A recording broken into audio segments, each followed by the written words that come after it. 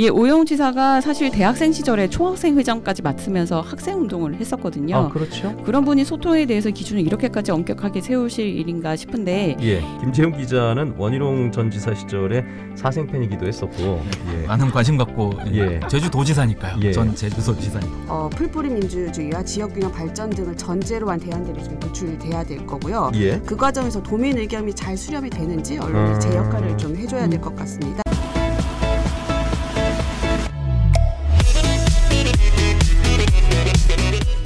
예, 키워드 뉴스 시간 함께하고 계십니다. 오늘은 제주투데이 에이스 세 분과 이 시간을 함께하고 있고요.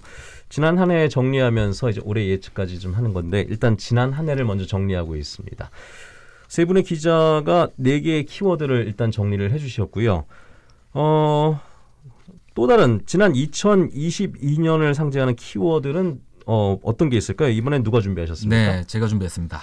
그 지방선거입니다. 아 이거 그렇죠. 지방 선거가 굉장히 중요했는데 네네. 뭐 대통령 선거도 있었지만 제주도에서는 지방 선거가 더 중요하니까. 네네. 그 원희룡 도정에서 오영훈 도정으로 넘어왔고요. 예, 예. 어, 원희룡 전 지사의 대선 도전으로 인해서 예. 제주도가 무려 1년 가까이 도지사 공백 상태였었습니다. 예. 어, 도지사직을 원희룡 어, 전 지사가 예. 일찍 사퇴해서 예. 제주도가 보궐선거를 하고 또 예. 도정 운영의 공백을 최대한 막을 수 있게 해주지 않을까. 예. 저는 좀 기대를 했거든요. 그 아, 1년 이왕 할 거니까. 네, 아, 아, 네. 그 예. 공백 운영이 넌, 원체 길어지니까요. 제 예, 예. 지역에 1년 가까이. 그런데 역시나 어떨까요? 원전 지사님 휴- 휴가도 굉장히 그 사퇴 직전까지 알뜰하게 마지막에 예. 몰아서 쓰시면서 대선에 도전하는 그런 모습을 보았습니다. 서울에 자주 가 계셨죠? 네. 예. 네. 여하튼 오영훈 도지사가 어, 당선이 되었고 당선은 예. 6개월.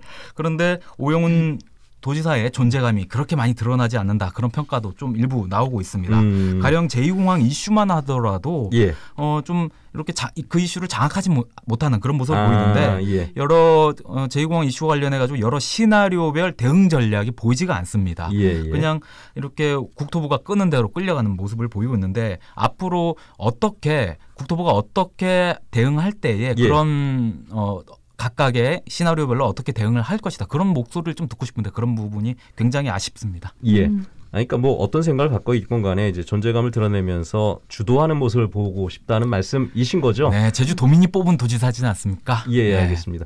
참고로 김 김재훈 기자는 원희룡 전 지사 시절에 사생팬이기도 했었고, 예. 많은 관심 갖고 예. 제주 도지사니까요. 예. 전 제주도 지사니까. 지금 말하는 거 보니까 이제 현 오영훈 도지사의 또 사생팬이 될 기미가 좀 보이고 있는데 네네. 어, 기자로서 하는 거니까. 네. 어, 지난 지방선거 지금 키워드를 뽑으셨는데 또 어떤 점을 유의미 있게 보셨습니까? 네, 진보 진영 그러니까 진보 정당들이 예. 어, 정치적으로 좀 어, 얼마나 좀 영향을 가져갈 수 있을까? 아, 지금 공고한 양당 거대 양당 체제에서 예. 이 진보 지- 어, 정당 정치인들의 활약을 좀 볼 수 있을까 봤는데 예. 16년 만인가요? 어, 진보 정당 후보가 단 한 명도 그 도의원 자리를 차지하지 못했습니다. 제주에서. 마찬가지고요. 네네. 예, 예. 지역구 그리고 비례대표 모두 성과가 없었는데요. 어, 여기에 관해서 여러 가지 얘기가 나오는데 첫 번째는 거대 양당만의 축제가 되는 선거판에서 진보 정당 연대의 필요성이 또 제기가 되었었거든요. 예, 일부에서는요. 이거 이게 이루어지가 않았습니다. 그러면서 어, 진보적인 어떤 목소리를 하나로 모으는데 실패했다는 그런 평가도 나왔고요. 그리고 진보 진영, 진보 정당의 리더십 부재에 대한 어, 지적도 나오고 있습니다. 어, 그래서 그 지난 선거를 통해서 평가와 반성을 제대로 해서 도민의 예. 목소리를 어, 이 진보 진영이 진보 정당들이 어떻게 잘 반영해낼까 음. 그런 고민이 필요해 보이는데요. 그런 반성 잘 하고 있는가 아직 잘 예, 예. 모르겠습니다. 그 평가 반성 결과에 따라서 이런저런 움직임 보여줄 때도 됐거든요. 예. 지금 6개월인가 7개월 이제 지났고요. 예. 그랬는데 아직 그런 모습 잘 드러나지는 않습니다. 심지어 지금 어제 제가 체크를 해봤는데 예. 진보 정당 제주도당 중에서 아직 SNS조차 운영하지 않는 곳도 보이거든요. 어. 이 SNS 그 도민들을 가장 좀 손쉽게 만날 수 있는 예, 예. 그런 어, 수단이지 않습니까? 예. 그런 것들도 잘 보이지 않고 그러다 보니 역량에 대한 의문도 예. 계속 제기되고 있고 아, 그렇습니다. 2024년에 총선이 있습니다. 예. 예. 그러니까 지금 1년 조금 1년 4개월 정도 남았어요. 따- 지금 현재 시점에서 예. 보면요. 그러니까 올해에 제대로 준비하지 못하면 역시 지난해와 음. 큰 크게 다를 바 없을 것 같은데요. 어떻게 힘을 모아낼지 좀 올해 관심을 갖고 지켜봐야 할 부분이다 싶습니다. 예, 알겠습니다. 그렇죠. 진보 진영 자체가 도의원 도의회 들어가지 못한 것도 꽤 오랜만이긴 네. 한데 다양한 목소리를 이제 내기가 좀 어려워졌다라는 그런 구조적인 문제들 말씀하시는 분들도 많이 있습니다. 다만 거기에 대해서 역량을 제대로 키워가고 있느냐 그 부분에 대해서는 좀 의문이고 네네. 어 알겠습니다. 나중에 저 그 정당 분들 출연하시면 제가 여쭤볼게요. 어, 저희도 기획을 하나 준비하고 있습니다. 아 그래요? 네, 알겠습니다. 제주투데이에서 내가 먼저 해야지. 관심 있게 지켜봐 주세요. 네. 자, 알겠습니다. 자, 또 다음 키워드를 한번 살펴보도록 하죠. 다음 키워드는 누가 준비하셨습니까? 네, 제가 준비했습니다. 네, 키워드는 조네 바리케이드 소통입니다. 바리케이드랑 소통은 좀 상반된 단어 같은데 뭔지 감은 옵니다. 네, 그래서 여기 키워드 뉴스에서도 다루었던 걸로 기억하고 있는데요. 예. 오영훈 제주도지사가 지난 그 지방선거 당시에 강조했던 것 중 하나가 적극 소통이었습니다. 예. 원희룡 전 도지사 같은 경우에는 시민사회 단체로부터 불통이라는 수식어가 항상 따라다녔 그런 지적이 있었거든요. 예. 그 거기에 반해서 오영훈 그 당시 후보였을 당시 도민 곁에서 토- 소통을 강화하는 모습을 보여주겠다. 음. 수차례 강조를 했었습니다. 예. 그 어느 한 매체에서는 인터뷰를 통해서 소통하는 도지사가 되겠다는 담- 다짐까지 했었었는데요. 예. 취임 후 6개월 과연 이 수식어가 유효한지 제가 한번 좀 음, 짚어보겠습니다. 아니 그 인수 시절에 집무실을 옮기기로 결정했었잖아요. 네네. 근데 그 이유 중에 하나가 집회가 자주 열리는 도청 정문 쪽으로 네. 어, 창문이 있는 쪽으로 옮긴다. 뭐 그 얘기 들었던 것 같은데. 네, 실제로 그렇게 옮겼죠. 그래서 예. 도민의 목소리를 더욱 가까이서 듣겠다 예, 그런 예. 게 아닌가. 근데 뭐 거기 상징적인 의미지만. 네, 네, 그렇습니다. 거기다가 서귀포시에도 집무실을 따로 또 마련을 했거든요. 어, 그렇죠. 네, 서귀포 예. 지역 주민의 목소리도 더 듣겠다 해서 그 그런 이제 그 모습들이 실질적으로 소통이 얼마나 도움이 되겠냐 이런 의문을 가지는 분들도 계시겠 지만 아까 예, 진행자분이 말씀하신 것처럼 이런 액션들이 도지사의 소통에 대한 의지를 보여주는 상징적인 의미가 있는 거잖아요. 예. 그런데 최근 들어서 오영훈 지사가 보이는 모습이 과연 소통 행정이라고 부를 수 있을까라고 했을 땐좀 음. 의문이 드는 부분이죠. 그 얼마 전이었는데 도청 정문에 바리케이드가 등장해서 네. 이거 한 10여 년 만에 등장했다 이렇게 뉴스가 나왔던 것 같은데요. 사진이 잘못 올라온 줄 알았어요. 처음에 아, 보고. 네, 예. 10년 전에 사진이 다시 온 줄 알고 그때가 아마 강정 해군 기지 그때 10년 전이 네, 예, 네, 예. 네. 그때였었죠. 그런데 이게 관련된 일이 있었던 게 지난 11월 말에 그 예. 지금 한창 그 뜨거운 감자인 월정리 동부 하수처리장 집회가 있었던 아, 날인데 예, 예. 시민들이 도청 안으로 이제 들어가려고 하니까 이걸 아예 차단을 해버린 겁니다. 비가 오던 날씨였는데요. 오영훈 지사가 갈등 해결 방안을 얘기할 때마다 항상 하는 얘기가 있습니다. 소통을 통해서 주민 의견을 충분히 듣고 풀어 나가겠다는 거. 음. 어, 어디서든 갈등이 있을 수밖에 없으니까. 예. 그런데 이게 바리케이드를 설치한 곳과 이런 얘기들이 좀 많, 많죠. 예, 예. 맞나 하는 의문이 드는데요. 지난달 기자회견에서 이 부분에 대해서도 좀 질문을 던져봤습니다. 예. 근데 거기서 오 지사의 답변을 듣고 다시 한번 좀 갸우뚱하게 됐는데요. 예. 오 지사는 의견을 전하고 싶다면 면담 약속을 잡고 예. 만남을 요청하라고 답을 했습니다. 예, 예. 거기다가 입장을 밝히고 싶다면은 도의회 도민 카페나 도의회 기자실, 도청 기자실을 활용하라고도 예, 설명했습니다. 음. 그 갑자기 오지 마라라는 얘기인가요? 그러니까 사전에 약속된 그 소통이라고 얘기해야 되나? 그 소통만 하겠다라는 네. 겁니까? 네, 그 소통의 기준이 상당히 좀 엄격한데요. 예. 이 오영훈 지사가 사실 대학생 시절에 총학생 회장까지 맡으면서 학생 운동을 했었거든요. 아, 그렇죠. 그런 분이 소통에 대해서 기준을 이렇게까지 엄격하게 세우실 일인가 싶은데 예. 이 지난 원희룡 도정보다 더하다는 말까지 나옵니다. 좀 기억하실지 모르겠는데 그 원희룡 도정 때 도청 정문을 들어서서 그러니까 정문 들어서서 예. 본청 현관 계단에서 그 당시 제2공항 반대하던 시민사회 단체 가 이제 점거 시위를 했던 적이 있었거든요. 아, 예. 그때는 도, 그 원희룡 도정에서는 계단에 화분을 이렇게 설치 갖다 놓고 예. 점거 시위를 하지 못하게 이렇게 했었는데 그때 예. 상당히 불통 도지사라는 그런 불명예를 얻게 됐었는데 이번은 아예 정문부터 들어오지 못하게 차단을 한 음, 겁니다. 예. 그 오영우 지사는 기자회견에서 도청 광장은 시위 공간이 되어서 안 된다고 못을 예. 받기도 했습니다. 그러니까 이게 뭐 해도 되는데 그 안에까진 들어오지 말아라라는 의미 도좀 담겨 있는 것 네. 같고 아까 그 면담 약속을 잡고 만남을 요청을 해야 된다. 아, 그런 사전에 그 준비 어, 그렇게 좀 조율이 되면 할 수 있다라는 얘기는 신청만 다 만나 준다라는 얘기가 되는 겁니까? 네, 근데 사실상 그렇게 신청을 했는데 만나지 못한 시민단체가 꽤 많은 걸로 알고 있습니다. 예, 알겠습니다. 그렇기 때문에 이제 불통 얘기가 좀 나오는 거고 지금 서울 용산 같은 경우에는 집무신글에서 매일같이 집회와 시위가 열리는 걸로 알고 있는데 네. 뭐 이런 그 비교 대상이 될지 모르겠습니다만 어쨌거나 굉장히 좀 엄격한 기준을 갖고 있는 것 같다 그 네네. 얘기하시는 현 거죠. 정부보다 네네 예. 그런 부분 좀 지적을 하고 싶고요. 또 최근에 그 오영훈 도정이 취재 동향을 즉각 보고하도록 하는 지침이 내려서 서 논란이 되기도 했습니다. 이게 제주시와 서귀포시도 도 산하 기관 모두에 취재 동향을 즉각 보고하라는 공문을 모든 부서에 뿌린 겁니다. 예. 예를 들어서 A라는 부서에서 취재 기자의 전화를 받았다라고 예. 하면은 그 취재에 응한 공무원은 여기에 대해서 보고 서 양식에 맞춰서 예. 작성을 한 뒤에 곧바로 보고를 해야 합니다. 음, 그 양식엔 기자 이름은 물론이고 취재 내용까지 상당히 구체적으로 기재하도록 되어 있었습니다. 누가 요즘 괴롭힙니까? 그 기자들 중에서?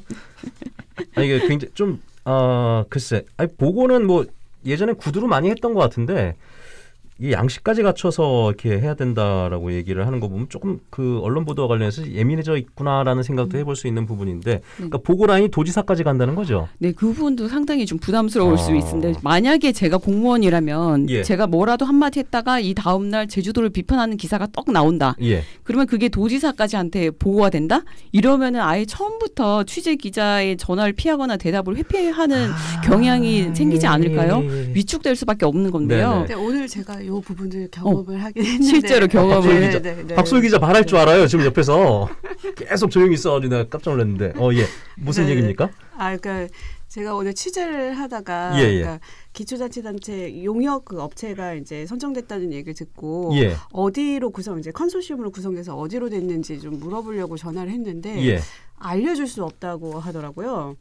어 예. 그래갖고 어, 그러니까 이게 그냥 어느 업체인지 이렇게 알려주는데 예, 예. 왜 이렇게까지 뭐 이렇게 비밀을 고수할 일이냐 뭐 이렇게 얘기했더니 무슨 일이 일어날지 몰라서라고 얘기를 음. 하더라고요. 그러니까 이 발언 자체가 어떤 음. 일이 벌어질지 몰라서 예. 얘기할 수 없다가 아무튼 이유였는데 그 얘기를 듣고 옆에서 요것도 못 밝히나 하고 있으니 아, 아까 네. 지금 말씀은 현장의 공무원들이 그만큼 좀 위축이 됐다라는 예, 맞아요. 거죠. 뭔가 아마 이 업무 지침 때문에 계속 예. 그 영향을 다 받았을 사례. 그러니까 지금 어. 자기가 이 얘기를 해도 되는지에 대해서 검열이 계속 이루어지는 거죠. 음. 예.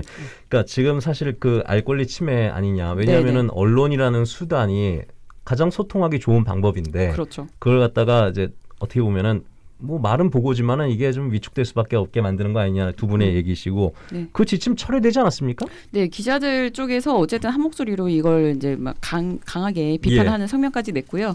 그러자 오영훈 지사는 갈등을 선제적으로 관리하자는 취지에서 갈등 사안이 많이 발생했다. 그러면 즉각 그 상황을 제주도가 제주도청이 좀 예. 공유하자는 취지였는데 중간에서 아마 관계부서에서 좀 오바해서 과잉으로 그런 운영 지침을 만든 것 같다라고 해명을 하더라고요.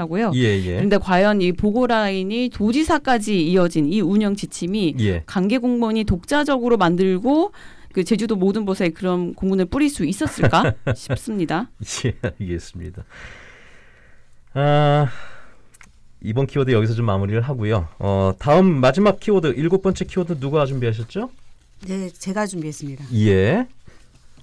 네, 기초 도입 준비했는데요. 예, 기초 도입. 네. 지방선거 치러졌으니 기초자치단체 논의 당연히 빠질 수가 없죠. 네, 선거 때마다 나오는 단골 공약이다 보니까 작년에 또 급물살을 탔는데요. 예.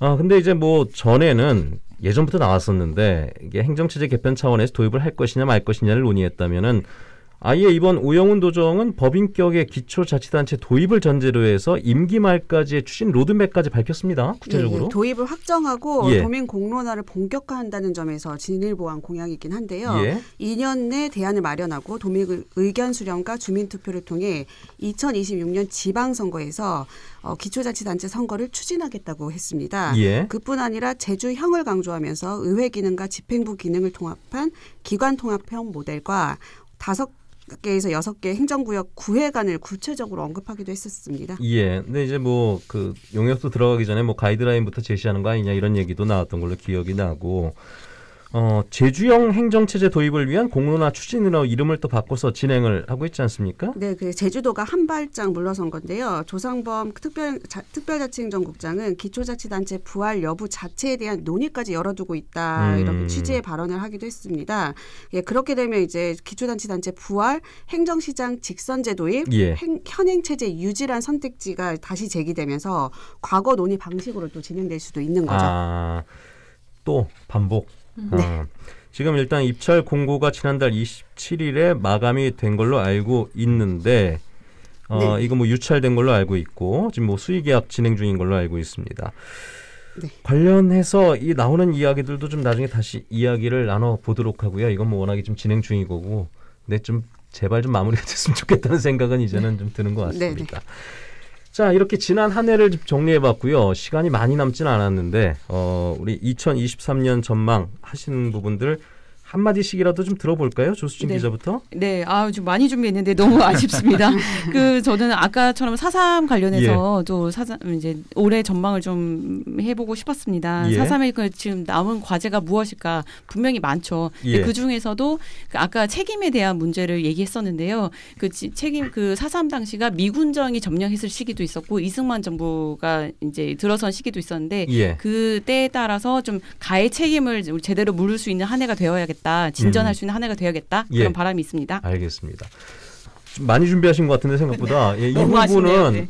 이 부분은 한번 하죠. 다음번에 예, 예, 다음번에 제대로 한번 제대로 하겠습니다. 하도록 하겠습니다. 자 박소희 기자는요? 아, 네. 저는 아까 이어서 기초도입 연결되는 내용으로 예. 전망을 해봤는데요. 예. 그러니까 지난해까지는 사실 말만 무성했고요. 예. 이게 가시화되기 위해서는 이제 실질적인 물밑 작업이 이제 필요합니다. 예. 예, 용역은 용역대로 이제 추진하면서 어, 풀뿌리 민주주의와 지역균형 발전 등을 전제로 한 대안들이 좀 도출돼야 될 거고요. 예. 그 과정에서 도민 의견이 잘 수렴이 되는지 언론이 제 음. 역할을 좀 해줘야 될 것 같습니다. 예. 근데 그에 앞서 이제 다른 트랙으로는 법 개정이 필요한데요. 예. 제주도는 특별법 제10조 1항에 따라서 지방자치단체를 설치할 수 없습니다. 예. 그래서 오영훈 도정이 내년까지 대안을 마련한다고 이제 해도 특별법 개정이 불발되면 음. 말짱 도루묵이죠. 국회를 다 통과해야 되는 건데 네네네. 이게 좀 제대로 되고 있는가 그 네네. 부분도 좀 계속 지켜봐야 될 문제다라는 거죠. 예, 맞습니다. 알겠습니다. 요것도 다시 한번 또 다뤄보기로 하고요. 예, 알겠습니다. 각자의 시간에서 한 번씩 제대로 다루는 걸로 하고 김재훈 기자 나 그거 뭐 추사체로 뭐 써놓은 줄 알았는데 뭐뭐 이렇게 많이 써놨습니까? 뭔 네. 얘기예요? 네, 청취자 여러분들 지금 운전하시면서 듣고 계시는 분들 옆에 둘러 보시면 옆에 가로수가 이렇게 풍성하게 자라고 있는지 한번 예. 어, 봐 주셨으면 좋겠습니다. 정말 가로수 제주도에서 이제 좀 제대로 자란 가로수를 찾아보기가 어려운 상황인데요. 예. 그래서 내년 전망 정실마을 가로수길이 어떻게 될까? 아, 월정사 가는 길이죠. 예, 예. 어, 구실 잡법나무가 아름답게 우거진 그 거리가 원희룡 아, 오영훈 오영훈 지사가 15분 도시를 제대로 구현할지는 전 이 정실마을 길을 어, 도로를 넓힐지 아닐지에 달려 있다. 사실상 그 가늠자가 될 것이다. 예, 예. 그래서 보행자를 위한 그리고 가로수가 풍성한 그런 도시를 만들어 나갈지 음. 그런 부분을 어, 바라볼 수 있는 지표가 바로 이 정실마을 가로수길 도로 확장 공사에 달려 있다. 예. 그렇게 보는데요. 이 오, 원희룡 전 지사 같은 경우는 송악산 어, 뉴 어, 선언을 송악산 선언을 하고 예, 송악 선언. 예, 송악 선언을 하고 그러면서 현재 뉴 오션 타운 매입 계획으로 이어지고 있거든요. 예. 그 환경을 위한 그런 플랜을 가져간 건데 그 오영훈 지사는 예. 무엇을 가져갈 것이냐 예, 예. 또 한번 물어보고 싶습니다. 알겠습니다. 사실 매입은 원 지사의 계획은 아니었었는데 네. 뭐좀 결론이 이래저래 이렇게 나오긴 했습니다. 들어보니까 올해도 김 기자의 15분 도시 집착은 계속될 것 같다는 생각이 네. 들고 예. 근데 기자로서의 올바른 의식에 따른 집착은 저는 좋은 거라고 생각하니까 앞으로도 세 분의 활약 기대해 보도록 하겠습니다. 자 오늘 세 분 함께해서 감사했고요. 다음 시간에 또 뵙도록 하죠. 고맙습니다. 네, 감사합니다.